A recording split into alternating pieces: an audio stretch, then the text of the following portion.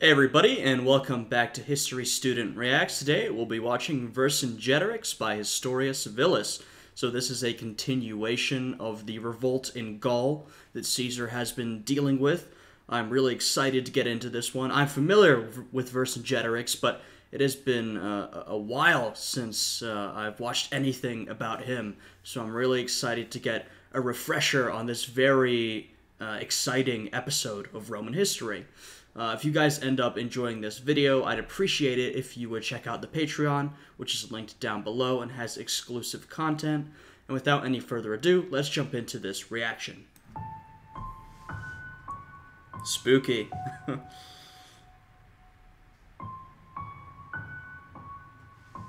in the dead of winter, deep in the forest, the leaders of some of the largest tribes in Gaul met at a sacred grove. Mmm. Together, they discussed Ambiorix's revolt from the previous year. Some of those present had supported the revolt by saying, a revolt that definitely challenged the Romans, though, um, you know, they ended up succeeding. Uh, the Romans ended up maintaining their domination over Gaul, but it was a pretty impressive revolt in many ways. Sending fighters or supplies, while others had decided to sit back and see how it all played out. But as we know, after some initial success, the Mm. revolt had gone down in defeat. Yeah. The Gallic tribes had been curious to see whether this would be a wake up call for the Romans, but it was kind of the opposite. Caesar doubled down and attacked any tribal leader that didn't show him blind loyalty. He indiscriminately killed and enslaved Gallic civilians. It was a brutal show of force. I mean, yeah, we've been seeing how Caesar behaves in Gaul, and I mean, one of his favorite tactics is marching around, burning down villages, murdering and enslaving civilians uh, in order to get a response from different Gallic tribes. So, um, you know, he has managed to effectively dominate the territory, but of course, and I've mentioned this before, the morality of the actions uh, is very much uh, not good. You know, we're talking about some really brutal, really bad stuff going on here. Um, but you know, these are the tactics that Caesar has used in order to extend Roman conquest. now, the Gallic leadership was in agreement. Caesar was clearly laying the groundwork for full annexation. Yep. The time for secrecy was coming to an end. Together, the tribal leaders swore a sacred oath Gallic independence or death, nothing Wow. else. The tribes would formally unite against the Roman invaders. I mean, this is a, I mean, at least at this moment, a big deal. You know, we've talked about how, um, I mean, the only way to fight back against the Romans was the unification of these different tribes. This was true for Gaul and Britain, though, you know, even in a case like Britain where the tribes did unify, the Romans came out basically on top at the end. So, you know, unifying, it's not a guarantee that you'll defeat the Romans, but it's your only chance. You know, if you have tribes rising up independently, they don't stand, you know, a chance. They've got, uh, you know, no chance in hell to beat the Romans. They have to come together. Uh, and clearly, you know, they've already known that, and now they're seems like they're putting it into action. Though a lot of these coalitions do end up falling apart. So we'll see if that happens with this one. But at the very least, they're seeing that we don't have much time left. You know, if we're going to try and prevent this annexation, we have to do it now. We have to come together immediately. One of the people present at this meeting was a tribal leader named Vercingetorix. In only a few months, this man would rise to become the leader of a united Gallic army. Yep. Famous guy. It was no coincidence that as soon as these Gallic leaders returned home, things started happening. A Roman trading outpost in central Gaul was stormed, and its inhabitants were massacred. Coincidentally, a bunch of small Gallic tribes with ties to Caesar suddenly came under attack at the same hmm. time. Coincidence, Caesar's huh? right hand man Labienus was in charge of the legions, while Caesar was gone south for the winter. When reports of these attacks started coming in, Labienus had a pretty lazy response. He kept the Roman soldiers in their winter quarters. And you know, Labienus is a smart guy. He's a pretty capable guy. So, uh, one, I mean, that's definitely a mistake. But two, it does give you uh, sort of a look at the Roman mindset at the moment, at how confident and dominant they felt that Labienus couldn't even be bothered to put up much of a response. And instead sent Rome's strongest Gallic ally to go and deal with the problem. These Gauls dutifully marched off, but after a few days they turned around and came back home, claiming that the countryside was too dangerous. Hmm. That's a thin excuse, if you ask me. Yeah. It's telling that even Rome's strongest Gallic ally was suddenly unwilling to lift a finger against their fellow Gauls. Hmm. Back in Roman territory, Caesar was watching the reports come in with growing concern.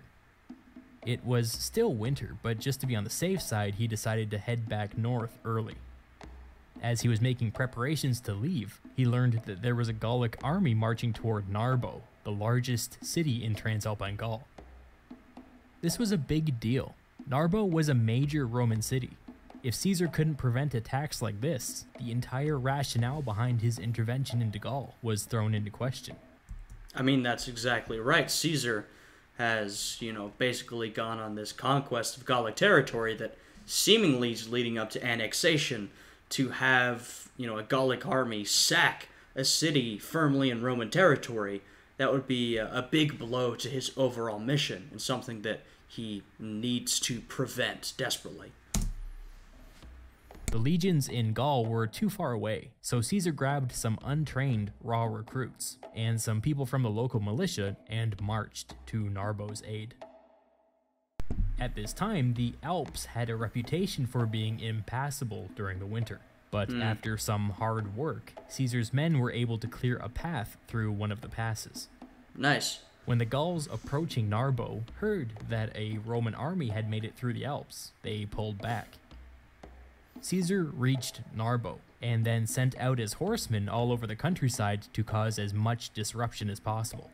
He hoped that this would convince the Gauls that he had a proper army with him, and hmm. not a ragtag group of idiots who couldn't hold their own in a fight. Smart. Just to reiterate, three things had just happened. First, Roman merchants in Gaul were being rounded up and massacred. Second, Rome's Gallic allies were under attack. Third, the Gauls were threatening Roman territory for the first time in years. These things had to be related. Gaul was obviously on the march, and Caesar was stuck hundreds of kilometers from his legions. Hmm. Caesar left Narbo behind and headed north, accompanied by only a small group of bodyguards. One of our ancient sources makes a passing reference to Caesar riding through enemy territory disguised as a Gaul. There's no context given to this anecdote, so we don't know when it happened, but I read one historian that makes a convincing argument that it happened here. Anyway, the small group rode with urgency, and after several tense and exhausting days, Caesar reunited with his legions. He mobilized all 10 legions and ordered two, presumably the two inexperienced ones, to guard their food stockpile. Once again, we are seeing the importance of supply lines and supplies. Um, you know, I'm not sure if this is going to come into play later, but you definitely do want those supplies guarded, particularly if you're going to end up uh, in deeply hostile territory. Um, though Caesar has the foresight to see that, and clearly, uh, unlike Labienus in this case, Caesar has the foresight to realize that uh, something fishy is going on, and that uh, he needs to be up there, you know, back in Gaul, to make sure that everything doesn't fall apart. Remember, it was still winter, and the Gauls, who usually supplied the Romans, were under attack. This mm. meant that the food that the Romans had set aside for the winter might have to last them all year. It had to be protected at all costs. yeah. Caesar took the remaining eight legions and marched straight into central Gaul. By this time, all of the internal conflict within the Gallic alliance had been resolved, and Vercingetorix had emerged as the unrivaled leader of a united Gallic army. Hmm. The Gauls were lucky to have him. Vercingetorix was a brilliant guy and a student of Roman warfare. He knew how to defeat the Romans. Vercingetorix's strategy was basically the Fabian strategy. Mm. The Fabian strategy is all about attrition. The goal is for one army to deprive the other of food, supplies, and reinforcements until they become beatable on the battlefield. In short, Vercingetorix's goal was to make Caesar's life as miserable as possible. And I mean, this is it's a really smart idea, especially in this situation. Clearly, Vercingetorix is worried that he won't be able to take the Romans in a one-on-one fight. And fair enough, the Romans are a pretty imposing force, um, so that points towards this strategy. Uh, in addition, the Romans are in uh, maybe not unfamiliar territory. They've been here for a while, but basically hostile territory. You know. Um, they have to protect their supplies. They're surrounded by Gauls, and so that also makes this strategy even more effective.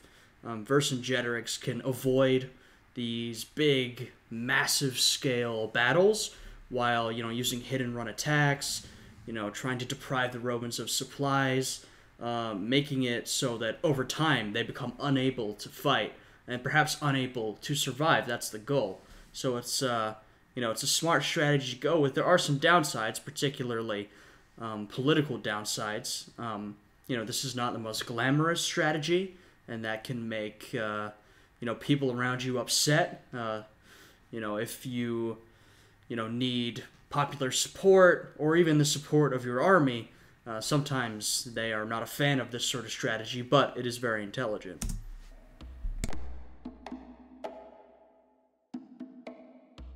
So when Caesar marched into central Gaul, Vercingetorix ordered over 20 nearby towns evacuated. People were allowed to take whatever they could carry, but anything left behind was burned. Mm. Vercingetorix's opening move was to go full scorched earth. Caesar yeah. had to be denied the ability to resupply. The refugees flocked to the largest settlement in the region, the fortified city of Avaricum. Caesar and his legions advanced toward the city, and Vercingetorix and his united Gallic army shadowed him. Hmm. Avaricum was said to be impregnable. The city was protected by strong, high walls, as well as marshes on three sides. These marshes were a nightmare for any besieging army, since it was virtually impossible to stop people from sneaking through the marshes whenever they pleased. Even under siege, Avaricum could remain supplied indefinitely. The mm. city hmm. would need to be taken by force. I mean, usually in order to stay supplied during a siege, uh, you would need. I mean, the best way to do it is sort of an open water route because it's uh, can be very difficult to blockade. But of course, this is uh, very interior, you know, um, and yet they still managed to stay supplied due to the uh, environment. So uh, that could be pretty well defended over a long period of time. The Romans built their camp on the only side of the city with dry land and settled in. This is known to history as the Siege of Avaricum, and it was miserable. The whole thing would last 27 days, and it would rain the entire time. Caesar ordered his men to begin building two siege towers and a gigantic wooden frame, upon mm. which hmm. the Romans could build a ramp out of earth and mud. Once completed, this ramp would allow the Romans to charge up and over the walls of Avaricum. But because of the torrential rain, construction ran into difficulties. Mm. At some point during this process, the Romans officially ran out of food. I don't mean they were forced to cut rations. I mean they ate their last meal and then were literally out of food. Jesus. Uh, I mean, I knew the situation was bad. I did not realize it was that desperate. I mean, that is that's past desperation. You are literally in survival mode, you know? You are now every day is a risk, you know? Um, of course, you're probably not going to be eating a lot of days uh, eventually, you know, you're in a place where you need food. You don't know how to get it, but you need to do something. Um, this is, you know, past desperate. Although, uh, I would imagine, or maybe they don't. I thought they still had those supplies, food supplies that they were defending. Um, you know, maybe they could draw on that if those are still there. Vercingetorix really hit the nail on the head when he prevented Caesar from looting those towns. Now, the Romans were beginning the slow process of starving to death, and the nearest food was inside the walls of Avaricum. Mm. This was a bad place to be. Caesar sent foraging parties out in the rain and the mud to try and find something edible to take the edge off. When Vercingetorix noticed this, he moved his army nice and close to the Romans and sent out Gallic patrols all over the countryside, which denied the Romans the ability to forage. I mean, we saw the same thing in Britain. you know, Caesar was very low in supplies. He sent his men out to forage, but he was in unfamiliar, hostile territory. Uh, and, you know, British raiders would, you know, strike his foraging parties and either kill them or force them to retreat. So very little food could actually be found. Vercingetorix's goal of making Caesar's life as miserable as possible was going great so far. Understandably, this made the Romans pretty upset. They tried to provoke the Gallic army into attacking them, but Vercingetorix didn't take the bait. Smart. All he had to do was sit back and wait for the Romans to make a mistake. Now, you may be asking yourself, if Caesar's legions were starving, why didn't he send for the food Right. that he was keeping under guard back that's, east? that's what I was If wondering. Caesar sent for it now, Vercingetorix would do everything in his power to intercept the shipment. That food had to last the Romans all year, and if they lost it now, they would be forced to pull out of Gaul entirely. I guess, but um, you know they are extremely desperate, so maybe it's time. um, you know, I mean, if you are literally on the verge of starvation, it might be time to use that final supply of food.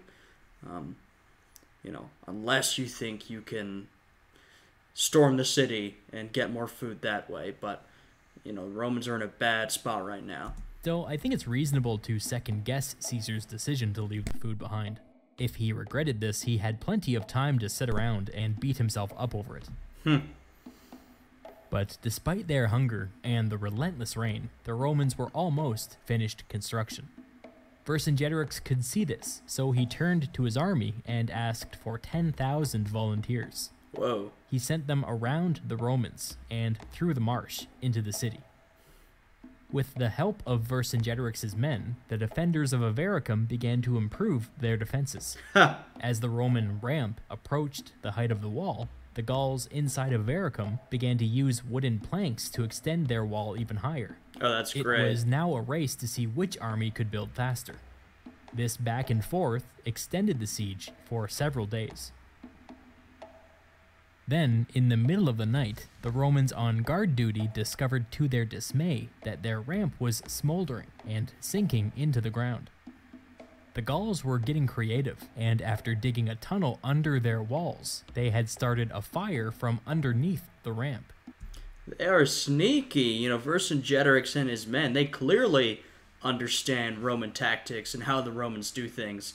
Uh, and, uh, you know, they're, they've got tricks up their own sleeve, you know. Um, very smart. Some very uh, good decision making here on their end.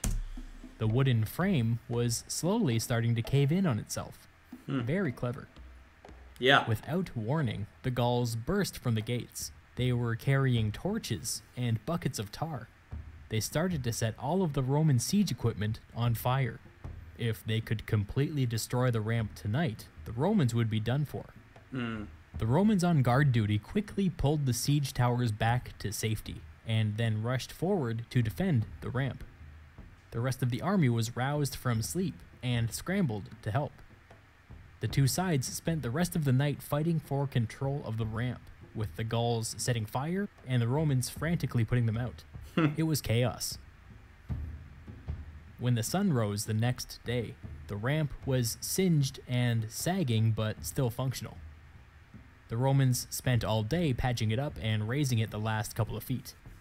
By the time the sun set, they were finally ready to begin the assault. All right. The next day, the rain was horrendous. The ground turned into one giant puddle, and every soldier had to fight against the thick, nasty mud with every step. No sane person would take an army out in this. Caesar decided to go ahead with the assault anyway. Remember, the Romans were starving to death. They couldn't give the Gauls another opportunity to destroy their equipment. They had to go now. Yeah. The Ro- I mean, not the right conditions, but in this situation, you've really not got much of a choice. If you're the Romans, um, I, I, I agree with this course of action. You just need to try and assault the city immediately and, uh, you know, change the situation you're in, get some food. Romans fought their way up the ramp and onto the walls of Avaricum. Apparently, the Gauls were not expecting an attack in this kind of weather, but hmm. nevertheless, they rallied and fell back to their second defensive line down on the streets. Instead of following, the Romans stayed up on the walls and spread out, eventually surrounding the defenders down below. Every Roman legionary carried two javelins, and this was a pretty good time to use them. Hmm. the Gauls down on the streets could see that escape was no longer an option. After enduring an onslaught of projectiles from the Romans, they started to lose hope. Many ran off. Yeah, I mean that is uh, some smart thinking from the Romans. You know, they approached the city, and of course, the Gauls made the assumption we're going straight into urban warfare. We're going to be fighting street by street, block by block. But instead of jumping right in, the Romans decided to take a minute, think about what we're doing, and surround them instead. It would have been very easy to just, you know, keep pushing and, and, you know, continue into the melee of the city streets. But this was definitely a, a good decision. To hide in their homes. The Romans came down off the walls and easily crushed the remaining resistance. Then the legionaries roamed the streets and indiscriminately Oh, slaughtered civilians. Yeah, I mean, it's not Caesar in Gaul if you don't have your fair share of uh, brutality and massacres. that, uh, you know, really characterizes a lot of these videos. Virtually all of the city's inhabitants were killed. Caesar made no attempt to stop them. Oh, yeah, of course. With the Romans victorious and recovering their strength in the city, Vercingetorix decided to pull back. He was certainly disappointed with the loss of Avaricum, but he was playing the long game. The Romans had paid a heavy price to take the city.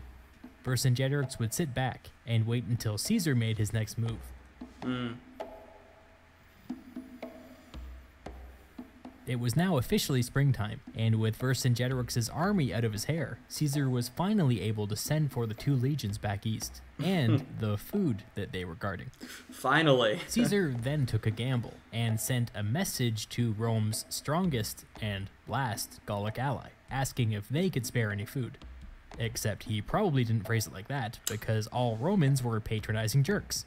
Yeah, this is Roman diplomacy. Nothing was ever asked for, it was demanded. And it was usually given. This tribe was unreliable. Remember, this was the same tribe that had refused to take up arms against their fellow Gauls earlier in the year. Nevertheless, they told Caesar that they would see what they could do. When the legions arrived from the east, Caesar divided his army in two. He gave four legions to his right hand man Labienus and ordered him to march north. Caesar would take the remaining six legions and march south. Between the two of them, maybe they could put an end to this revolt by the end of summer. Maybe. To the south, Caesar's main target was the Gallic city of Gergovia. This was Vercingetorix's hometown and the capital city of his tribe. If the Gauls lost here, it would be a huge symbolic defeat.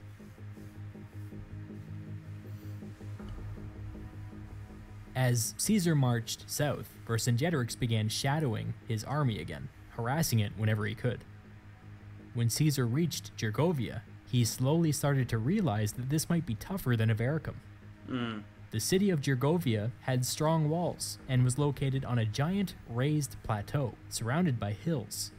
On the slope leading up to the plateau sat Vercingetorix and 30,000 of his closest friends.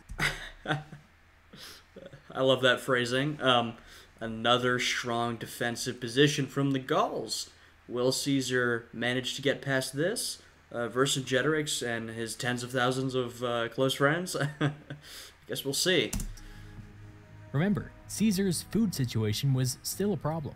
They had mm-hmm. their supplies from the east, but if that was going to last, it had to be supplemented by looting and foraging. They couldn't afford to just sit around for the whole summer. They had a food shipment on its way from their Gallic allies, but these guys were unreliable, so Yeah. who knew when they would show up? All things considered, they would probably have to storm the city like last time, which was risky. But before doing that, they would have to fight this Gallic army standing in their way. Uphill. Yeah, this was going to be ugly.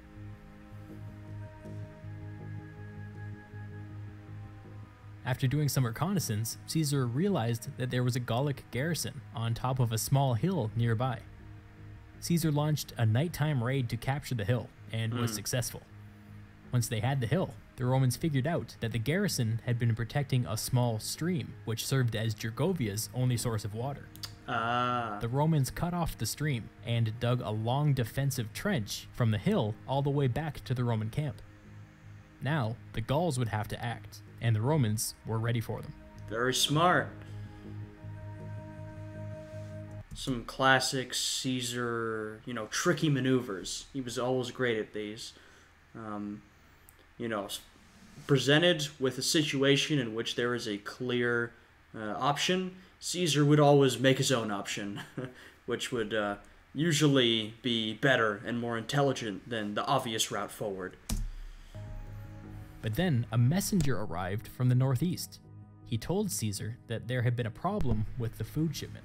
The Uh-oh. Gallic tribe that was going to deliver it, Rome's last Gallic ally, had turned on them without warning. They were Well, I don't know if without warning is accurate. I'm not entirely surprised this would happen. They were a little flaky already, and, you know, it's not really that surprising that they would have turned against Rome or not delivered the food or just flaked on it. There's a couple of different things that could have happened. were massacring any Romans they could find. Whoa. This That's was a bigger deal than you might think. The food shipment was protected by thousands of Gallic cavalry, and now they were threatening the Roman rear. This was bad. After some consideration, Caesar marched off with four legions, leaving two behind to continue the siege. By nightfall, he tracked down his rogue Gallic allies. When the Gauls saw Caesar coming, they sent a representative forward, claiming that it was all a misunderstanding. Oh, of yeah, of course. This, I mean, I don't know who this tribe is, but you know, to be the last Roman ally in this situation, they're definitely trying to play both sides. Um, you know, maybe they didn't actually turn against Rome, and that was all rumors. Um, seems maybe more likely that they did, and then perhaps had a change of heart or wanted to, you know, win the favor of their fellow Gauls by killing some Romans, and then come right back to the Romans and say, uh, "That was all a misunderstanding, Caesar. Don't worry about it. We're here to help." They had received some bad information and had believed that Caesar was slaughtering members of their tribe. really? Do you buy this? No. I don't buy it. this was the same tribe that had refused to march against their fellow Gauls. Yeah. It seems clear to me that they were at least sympathetic to Vercingetorix's cause and were looking for an excuse to jump ship. Hmm. Caesar had no way of knowing if he was being lied to, and frankly, he didn't really have time to figure it out.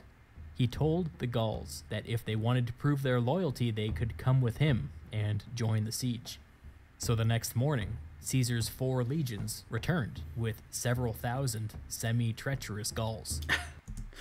That is a uh, well, that's a dangerous position to be in. I mean, it is true that he absolutely needs the men, and at a time like this, you cannot be picky with your allies. But you know, their very questionable loyalty could end up being a disadvantage if they decide to turn against the Romans, like in the midst of battle. So it's a risky decision, but I can you know definitely see why he did it. First off, he needs the support. Second off, he probably wants to keep them close so he can keep an eye on them. When he got back to the siege, he was told that the two legions he had left behind had been under constant attack from the moment he left. They'd held their ground, but it'd been a rough 24 hours. There were also new developments on the slope leading up to the city. There was a brand new stone wall there, six feet Whoa. high. Also, like half of the Gallic army was missing. Yeah, okay. It is very clear that uh, the Gauls had been taking notes from the Romans. I mean, they said Vercingetorix was familiar with Roman tactics very clearly. You know, the reliance on engineering and building, the Romans loved that. And also, you know, sort of Caesar style tactics.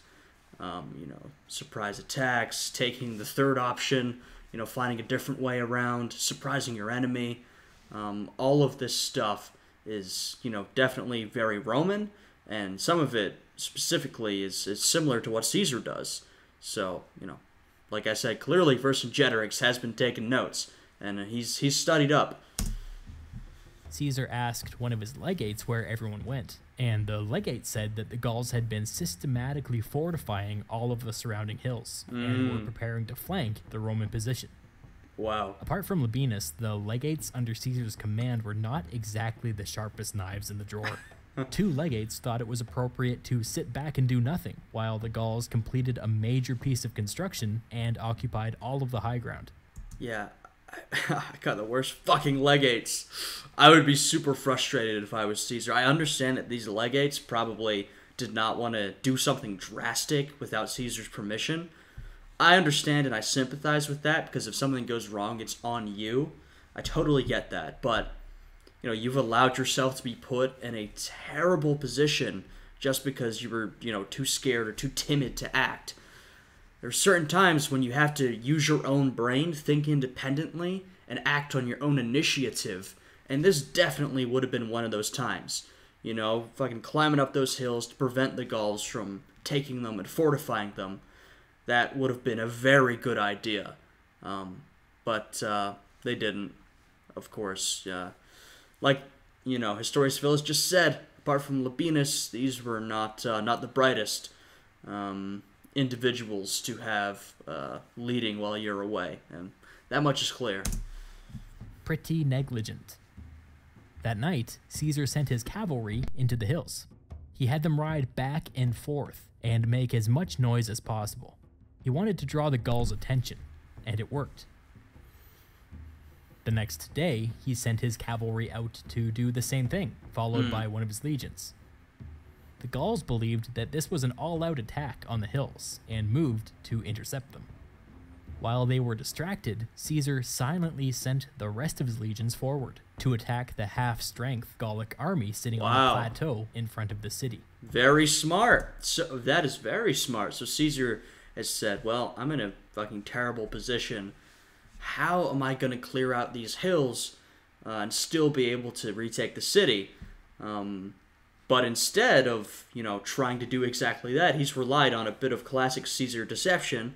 He said, "Well, I don't actually need to retake the hills. I just need to distract them for a bit, and I can use that opportunity to climb up the main hill, uh, attack the city, and take out a Gallic force which is not, um, you know, fully there. They're all up on the hills. Distract them, um, make a charge up the hill. Very smart." The Gauls on the plateau didn't even realize that the Romans were attacking until they were right on top of them. The legionaries were able to help each other over the stone wall without much mm. difficulty, and before the Gauls were able to mount a defense, the Romans were running amuck in their camp. The Gauls on the hills quickly figured out what was happening. They immediately turned away from the decoy cavalry and started flooding down the hills to meet the Romans on the plateau. When Caesar saw the Gauls coming down the hills, he sounded the signal to retreat. But half of his men didn't hear the signal Oh, and no. continued moving forward. The Gauls from the hills crashed into the oblivious Romans, who took heavy losses. They eventually realized that they were out there on their own with no Ooh. support and pulled back to rejoin the rest of the Roman army. Yeah, that just seems uh, uh, unlucky, basically, on Caesar's part. That is uh, an unlucky artifact of warfare of this era. You know, it would be very hard to communicate to your men, uh, especially across large distances, and sometimes they simply just wouldn't hear you, and that you get yourself into a bad situation like this. But still, a smart plan from the Gauls, a smart response from the Romans. The two are uh, playing on a very intelligent level here. Um, but, you know, just an unfortunate, unlucky uh, situation there, not having all of his men retreat instantly for Caesar. Caesar says in his commentaries that 700 Roman soldiers died because of this mistake, but later historians have argued that it was probably several thousand. Whoa. Caesar tries his best to deflect blame for this, calling his men overeager and overconfident, but obviously this was Caesar's fault. It would have been clever if it worked, but the Gauls were too quick. Vercingetorix was making an effort to True. Uh, I mean, I agree with that. I don't think it was a bad plan. I think it was a good plan. Honestly, I think it was pretty intelligent. But I think Historia Civilis is right that Gauls were just too quick for it. Um, you know, I, I do think it was a very good plan. But it just wasn't going to work this time. You know, this is a, a kind of a different class of enemy that Caesar is facing. You know, they're familiar with his tactics and they're also quick to respond. So, you know, while uh, I'm not necessarily going to hit Caesar too hard for this plan, which I felt like was a pretty good idea. I mean, yes, at the end, uh, any losses suffered would be his fault. It was his idea. Um, just shows you the sort of enemy uh, he's fighting at this point. To impose some much needed discipline on the Gallic army, and obviously this was starting to pay off. Mm. When news spread of Caesar's defeat at Gergovia, Rome's last Gallic ally finally flipped and went over to Vercingetorix. Yeah, of course. The Gallic cavalry accompanying Caesar unceremoniously rode off, and any Romans that were found in that tribe's territory were rounded up and killed. Mm. Gaul was now unified in its opposition to Caesar. Yikes. Up north, Labienus had actually been pretty successful and had a few small victories under his belt. Caesar marched north to regroup with him and caught up somewhere near the Seine River. Hmm. Together, the ten legions marched south again. Around this time, there started to be reports that a Gallic army was marching toward Transalpine Gaul again, which was a bad sign. Oh, not again. Caesar decided to ignore these reports and focus his attention on Vercingetorix and his army. I guess Caesar does have a lot on his plate right now. He's, you know, hearing this report, probably thinking, I already have to deal with Vercingetorix and his formidable Gallic army. I mean, at least so far it's been formidable and very challenging. I do not have the time to worry about Gallic, encroachments on Roman territory. Um, uh, which, I mean, yeah.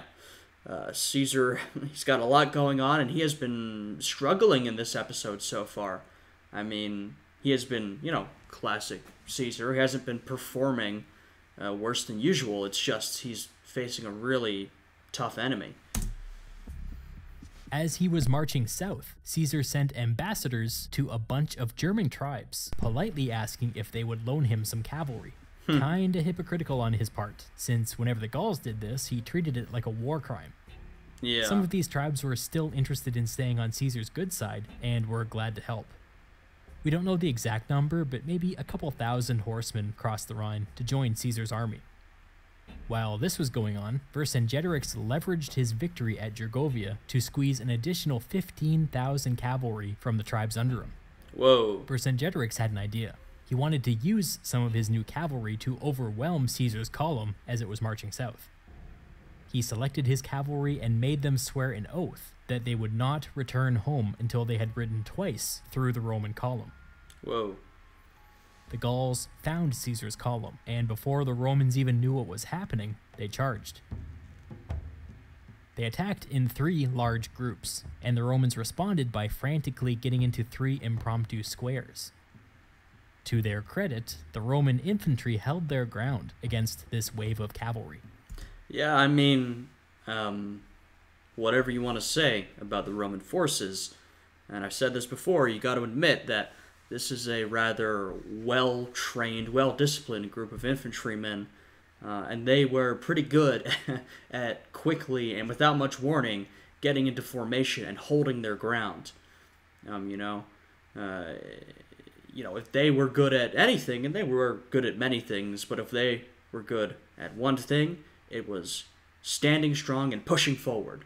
This is what the Roman infantry were best at. So, you know, shout out to them for that. And, you know, I'm not necessarily surprised they did manage to hold their ground, uh, even in a dangerous situation like this. Caesar's new German cavalry was significantly outnumbered, but they were able to use the Roman squares as protection, behind which they could launch hit and run attacks. Mm. The Gauls suffered more losses than they had expected, and after a time, they pulled back. Yeah, I mean, sort of a hit and run tactic from Vercingetorix. Um, it's not a terrible idea, but it does seem that he sort of underestimated how quickly the Romans would be able to respond in this instance. Vercingetorix decided to regroup at a city called Alesia. Mm. Some of you may have heard of the Battle of Alesia because I did a video on it all the way back in dinosaur times. If you want a detailed account of what happened, I would encourage you to go and watch that. There will be a link at the end of this video. But for the time being, here's the one minute version. Caesar arrived in Alesia and quickly realized that the army inside the walls outnumbered his. He constructed an elaborate series of walls. Uh, yeah, I, I do believe I've heard of this battle. Um, quite a crazy scenario to be in, but uh, I think he's going to tell it to us here. that encircled the entire hillside. This was impressive.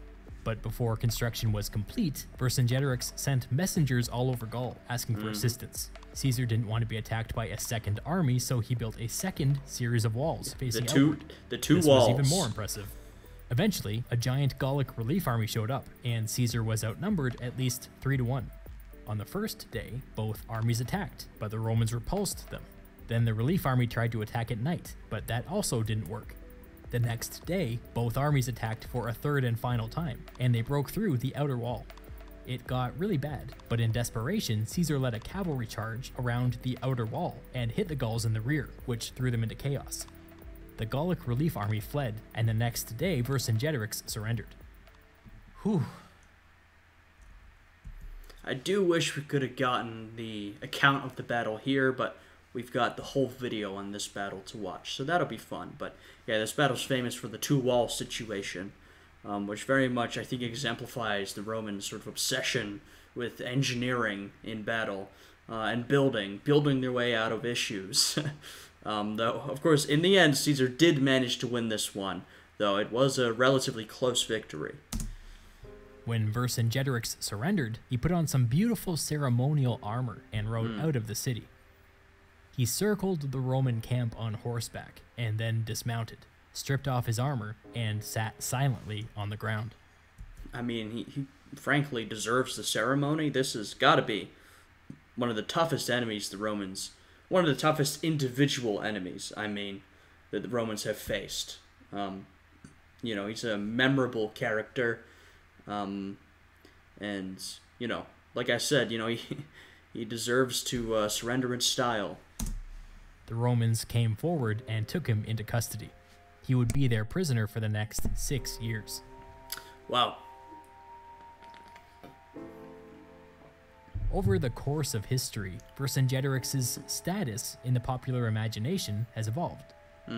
For a long time, he was considered a minor historical figure who briefly had his moment in the sun. And then, with the invention of nationalism in the 19th century, French artists began to look back for hints of their national identity in the ancient world. What they discovered was somebody who led a war in the defense of liberty against that tyrant Julius Caesar. That's How very French of him. That's how we get paintings like Vercingetorix by Henri Paul Motte. Yeah, there's a lot of fantastic art of Vercingetorix, and you know, it really is an interesting thing that with the development of modern nationalism, you have countries like, say, France and Germany, who look back into ancient history and start to draw inspiration and you know feel some connection with a lot of these ancient tribes that we've covered throughout these videos even though uh, in reality the you know an ancient tribe an ancient gallic tribe and the modern nation of france the connection's not that strong at all if there is any. Um, but you know uh, you know that's sort of how this develops with nationalism. This connection is uh, felt strongly and developed by writers artists academics etc to foster uh, you know the idea of the nation the french nation the german nation. Very uh, you know interesting period in modern history and very interesting phenomenon He shows us Vercingetorix's surrender in front of a French landscape destroyed by the Roman war machine. The Romans in the foreground look sickly and pale, while Vercingetorix sits defiantly atop his horse in golden hmm. armor. His hair blows in the breeze like some kind of Greek hero. Blood and discarded Roman weapons litter the ground at his feet. In the distance, we see Caesar menacingly watching on from some kind of makeshift throne. Yeah, I mean, it's very obvious that, um, you know, Vercingetorix in this painting is portrayed as he's the hero figure. he's very clearly the hero, uh, you know, coming to sadly surrender against uh, surrender to these villainous Romans, with Caesar being the you know playing the role of the main villain. And here we get another version of the same event, with Vercingetorix throws down his arms at the feet of Caesar by Lionel Royer. Yeah, Caesar, and this sort of ties into the perception of Roman history, and particularly Caesar, uh, in you know modern times and the perception of Caesar has, you know, really been quite diverse. Um, you know, if we talk about the 18th and 19th centuries, which is when these paintings are from, this era um, of Enlightenment into the Romantic era, um, Caesar, you know, there's different views of Caesar. To some, Caesar is this, you know, conquering general. Um, he's a very impressive figure, and many uh, in this era take inspiration from that. Napoleon, Frederick the Great. Um, but to others, to a lot of, say, Enlightenment thinkers in the 18th century, Caesar was uh, a tyrant. You know, they despised him for his brutality and his tyranny. Um, and of course, him, you know, basically ending the Roman Republic. Um, and this is how a lot of, you know, Enlightenment, more liberty minded individuals felt about Caesar. Um, of course, in these images, we're seeing sort of definitely a more negative, villainous take on Caesar. Um, but, you know, opinions on him vary, you know, and still vary to this day. I think he's a, he's a complex figure, and people feel a variety of different things about him. Vercingetorix gets a hero's treatment once more, and remains on horseback even in defeat. Mm. His weapons have been thrown to the ground, but if we look closely, we see a Roman shield down there too, which Mm. offers us a hint of past Gallic victories. By the way, in case we were confused as to who the bad guys were in this painting, look at these faces. Yeah. One more. Here's Vercingetorix calls the Gauls to the defense of Alesia by hmm. Francois Emile Ehrmann. Here we've abandoned all pretense. Vercingetorix is just blatantly shown as a young hero, straight out of Greek mythology. Instead of wearing a lion skin like Heracles, he's wearing a wolf skin, which makes us think of Rome. He seems to have the support of the people and of the gods, but this guy knows that it ends in defeat. Yeah, it's really interesting to analyze art throughout history um, because it really does give us a good look into what people, or at least what certain people, were feeling uh, at different times throughout history. And art depicting historical events can give us a look into how people conceived of history, particularly their own history, if we're looking at it from a nationalistic perspective. Speaking of Vercingetorix's defeat, once news of it spread throughout Gaul, most of the remaining Gallic armies disappeared, including the one marching toward Roman territory to the south. Hmm. Every tribe in Gaul sent ambassadors to Caesar, officially offering their surrender. The Romans were going to be in Gaul for the foreseeable future. And I mean, fair enough. This was sort of the last. Well, I don't know if it was, but it was presented in this video as sort of the last major effort um, of the Gauls against the Romans, and this was a serious unification. Um, Vercingetorix put up quite a fight, uh, you know, an impressive effort against the Romans, and still he lost. So after that, you can't blame a lot of the tribes for thinking, I think we lost. You know, we're going to have to learn to live under Roman control. I mean, there's not much more we can do at this point. We really tried. Um, and so, you know, we see that uh, that process occurring of them surrendering and, you know, trying to learn to live with their new circumstances. The next year, some of the survivors of Alesia regrouped at the city of, oh boy, Uxellodunum in southwestern Gaul, where support for the Romans was the weakest. The Romans besieged the city for most of the year and eventually figured out how to poison the water supply, after which the Gauls surrendered. In the aftermath, Caesar was particularly cruel. He hmm. gathered up everybody from Uxellodunum, who had taken up arms against him and cut off both of their hands. Jesus. Then he just released them. This would be Caesar's last atrocity in Gaul. Oh, well, there you go. um, Caesar's last of many atrocities, uh, many of which we've seen throughout this series, uh, and many of which we probably, you know, may not even know about because uh, lack of sources. As we wrap up, I just want to take a moment and talk in general terms about the Gallic Wars. Mm. The whole thing took place over like eight or so years, and it might have been the most disruptive thing that ever happened to the region. Whoa. Plutarch makes the claim that over this period, the Romans killed a million Gauls and sold another million into slavery. Holy shit. Uh, well, I'm not sure how accurate those numbers are, but those are some very large numbers. I don't know what the population of the region was, but that is immense. Though, of course, I, I don't know if those numbers are even close to accurate. Some estimate that this could have accounted for a fifth of Gaul's total ah. population. Wow. The demographic consequences of this cannot be overstated. Yeah. It would take centuries for Roman Gaul to return to its pre invasion population levels. Yeah, I mean, particularly, I mean, in modern times, population increases very quickly, but, you know, this is ancient times. So losing that number of people, that percentage of your population, yeah, it would take you a very long time to recover that. Some historians argue that the best way to describe what happened during the Gallic Wars is to use the word genocide. The use of that word makes others upset, but hmm. I don't think there's any question that Caesar deliberately targeted specific Gallic tribes for the purpose of making them cease to exist. Yeah, I- suppose you could call it that. I mean, I think the word genocide gets applied to a lot of different historical atrocities, um, and I, I don't feel qualified to judge whether this was or was not a genocide. It was definitely brutal, um, you know, and a lot of atrocities were committed. Um, so yeah, I mean, everyone can make up their own minds on that. Uh, I feel that I would need to be a lot more knowledgeable, and we would probably need a lot more information than we have to maybe, um, you know, use the word genocide.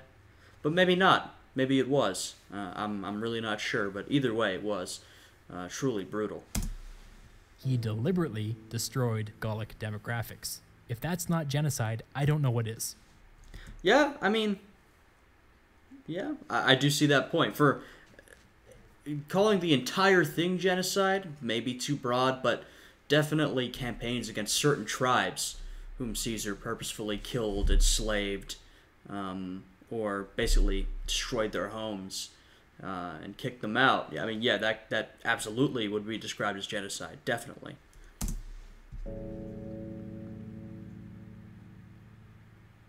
Anyway, by the year 50 BCE, Caesar would extend the borders of the nearest Roman province all the way north to the English Channel, Whoa. west to the Atlantic Ocean, and east to the Rhine River. We don't know exactly when this change went into effect, or if he even bothered to ask for the Senate's approval before doing it. but we know that by the end of Caesar's term as governor, Gaul was officially paying taxes into the Roman treasury. and over time, Gaul would become very Romanized. Um, it would, like the other provinces, it would be thoroughly integrated into the empire, um, to a point where you couldn't even imagine, you know, Gauls not being part of the Roman Empire. That's how thoroughly integrated we're talking. I mean, it would take a while to get there, but they would be Romanized, absolutely. Despite the heroic struggle of the Gallic tribes, full annexation had gone into effect. Alrighty. That was an interesting one. Um, ended on a bit of a somber note. um, you know, it is sometimes hard to make moral judgments of historical figures or, or, or history. Um, that can be tough, but uh, regardless, of course, the some of the actions taken by Caesar were very brutal, and that shouldn't be overlooked. Um, but yeah, definitely an interesting time period we've witnessed in Historia Civilis' videos, the conquest of Gaul um, by the Romans. Uh, and we're basically done with that at this point. We've seen a lot of videos on it. Though we still have the Battle of Alesia video coming up, which I'll react to to get you know the full story on that battle, which is uh, I think a pretty pretty crazy battle. Um, but yeah, I mean we saw the Roman buildup of power in Gaul as they slowly conquer and dominate the region, and several attempts of the Gauls to resist, uh, all of which ended in failure. Um, but I, you know, in this video, and of course, Historia Civilis frames it this way, but you very much sympathize with Vercingetorix, you know? He makes him out to be a very um, sympathetic character, uh, particularly near the end of the video. But yeah, that was that was an interesting one. Um, I hope you guys enjoyed this one. If you did, I'd appreciate it if you would leave a like, subscribe to the channel, and check out my Patreon, which is linked down below. Uh, I hope all you guys are having uh, a good day. I hope you'll you're all coping well with the heat. It's very hot where I am, uh, and I will see you all again next time. Goodbye.